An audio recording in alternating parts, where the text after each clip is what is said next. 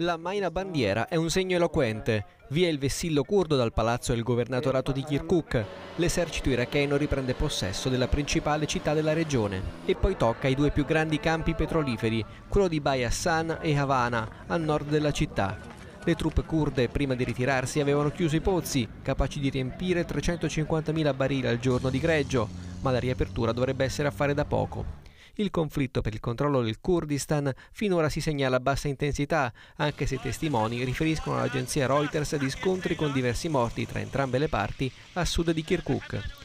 Una situazione precipitata dopo il referendum per l'indipendenza del Kurdistan dello scorso 25 settembre, iniziativa deplorata non solo da Baghdad ma anche da Washington. Il presidente Trump ha dichiarato che non intende prendere posizione a favore di nessuno dei due contendenti, invita piuttosto all'unità per continuare la lotta contro il califfato, una lotta che per gli USA si è spostata in Yemen, con il primo attacco aereo americano contro due campi di addestramento dell'ISIS. Secondo il comando delle forze statunitensi nella regione, i droni armati avrebbero colpito terroristi nell'atto di preparare attentati armati di fucili mitragliatori e lanciagranate. Si parla di decine di morti.